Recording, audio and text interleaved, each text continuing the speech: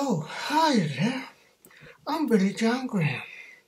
I love God. Now, I want to discuss some things with you people. Those vegans, they're a crazy bunch. They're a little bit extreme, you know. Telling me that animals feel pain, suffering, and that it's not a peaceful thing to do to put a knife in their throat.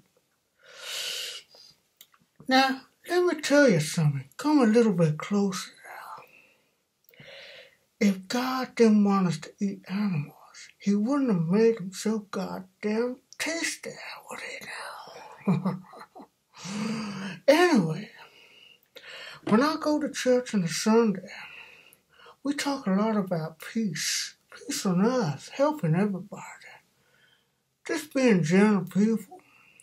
But then we get a little bit hungry and we have to have our meat and dairy products because that's what humans do. God would have wanted it that way. God said to himself, humans are such great animal species. We got to give them the animals to kill and eat.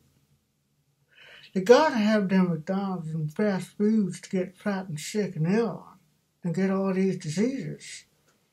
You can't make it too good for them, can we? So when you see these vegans, you gotta tell it's what God would want. God wants this. God made animals for humans to use and abuse and torture, man. Even though God is a peaceful person, that's what he wants. He makes animals so goddamn tasty, boy. You just gotta love God for giving us those tasty animals to eat, huh?